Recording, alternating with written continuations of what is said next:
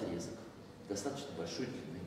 Э, здесь вот, если вы присмотритесь, э, написана э, длина там, 23. Нарисовал.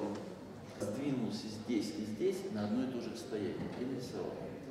Сдвинулся еще на такое же расстояние и нарисовал.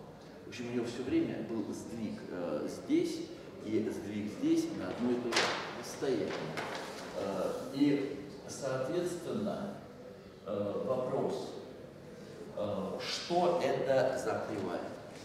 Давайте я э, поставлю э, этот э, вопрос так. Вот имеется отрезок, который проходит следующим образом. Вот здесь вот отрезочек А, здесь минус А.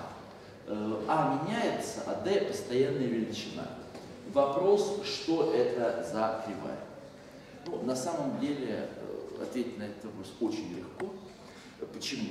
Потому что вы можете взять и просто написать уравнение Смотрите, если здесь у нас x, э, если здесь у нас y, то уравнение будет такое. x разделить на a плюс y разделить на d минус a равно единице. Объясняю почему.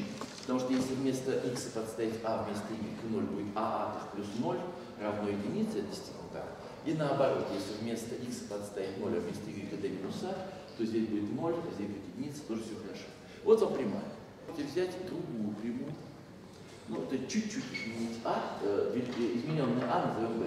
Чуть-чуть изменить А, у вас проходит как-то другая прямая. То есть x разделить на B плюс y разделить на d минус b равно единице. И сделаем так. Решим эту систему, и после этого b устремим к а. Надо просто умножить э, обе, вот это на d минус а, Э, а это на d минус b. Э, получится, когда на d минус а умножаем, получится и d разделить на а минус 1 умножить на x плюс y равно d минус а, а когда на d минус b умножаем, э, получится d разделить на b минус 1x плюс y равняется d минус b. Замечательно. Вычитаем из верхнего уравнения нижнее. Э, понятно, что получается э, здесь b минус a, э, а здесь получается d разделить на a минус d разделить на b, это умножить на x. Ну, замечательно. Если вы d вынесете за скобки, получится, понятно, что d выносим за скобки, здесь получается b минус a умножить на x, это есть АБ умножить на b минус А. Сокращаем на b минус А, получается, что x это АБ разделить на d. Ну, замечательно. Э, представляем теперь, например, верхнее уравнение. Тогда будет так. b дых, да, а скатилось, плюс y разделить на d минус а равняется единице. Представляем, x равняется АБ разделить на d, да, сюда вместо э, x подставляем АБ делить на d, э, э, да, а сокращается, получается b делить на d, переносим 1 минус b делить на d, значит будет d минус b делить на d. d минус а, вот так получается. Теперь стремится, когда x э, стремится к а квадрат делить на d, а y стремится к d минус а в квадрате делить на d. Вот, вопрос, как это уравнение записать э, попроще? Да очень просто. Корень из x, это у нас с вами будет э, а делить на корень из d.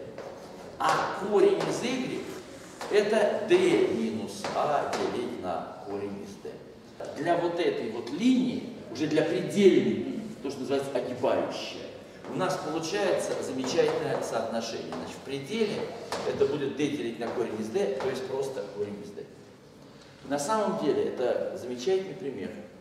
Конечно, это легко записать, и если вы x перенесете сюда, возводите в квадрат, это будет так. Это будет d э, плюс 2 корня из dx э, плюс x, да? Э, минус, правда, потому что перенесли. Вот, после этого вы можете записать так. 2 корня из dx, это d плюс x минус y, если в квадрат возвести, 4dx, это d плюс x минус y в квадрате. Уравнение второй степени. Это парабола. Да? На самом деле это парабола. Легко понять, что система координат вот так вот идет э, ось ординат, вот так вот пойдет ось абсцисс, чтобы это была парабола. Не знаю, мне кажется, вполне замечательный пример. На самом деле огибающих математики довольно много. Один из известнейших примеров – это когда вы берете отрезок не вот по тому принципу, как сейчас, а по принципу, чтобы длина у него не менялась. Тогда аналогичным образом легко посчитать, и у вас получится другое уравнение. Не x в степени 1 вторая плюс y в степени 1 вторая равно d в степени 1 вторая, а у вас получится такое уравнение. x в степени 2 третьих плюс y в степени 2 третьих равняется d в степени 2 третьих. Так называемая астроида.